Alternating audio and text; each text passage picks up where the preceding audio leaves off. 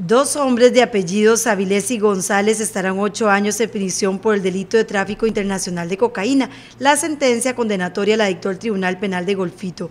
En el momento, los hechos fueron decomisados 718 kilos de cocaína que iban ocultos en el doble forro de una lancha en Playa Tamales, en Puerto Jiménez, de ese cantón. El operativo se llevó a cabo en agosto de 2018, donde participaron oficiales de la Fuerza Pública y el Servicio Nacional de Guardacostas.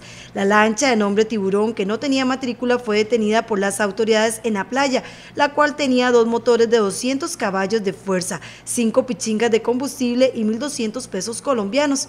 Una lancha eh, que navegaba por nuestras aguas, eh, en la cual venían dos ecuatorianos, la misma llega luego de una persecución a territorio costarricense, a la costa, y ahí es donde los sujetos posteriormente son detenidos y luego se encuentra, haciendo una revisión de esta lancha, se logra encontrar esta droga escondida. Sí, ciertamente una de nuestras eh, prioridades es el tema de la lucha contra el narcotráfico.